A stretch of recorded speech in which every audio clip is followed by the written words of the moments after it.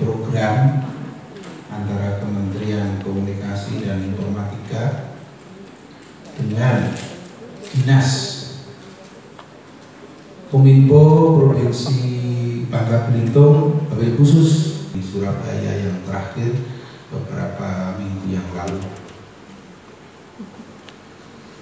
Dan kami terus sampaikan di sini, kalau kami dari Kementerian Kominfo dari Direktorat Informasi dan Komunikasi PMK perilaku hidup bersih dan sehat atau biasa kita singkat itu PHBS nah, tentu nanti uh, berkenaan penting ini uh, menjadi program prioritas nasional dari pemerintahan Presiden Joko Widodo. Yang tentu pada kesempatan ini dapat kami laporkan kepada Ibu 2013 sampai dengan tahun 2018 kemarin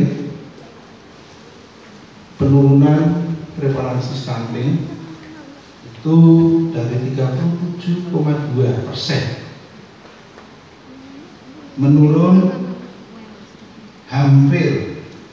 6,4 persen atau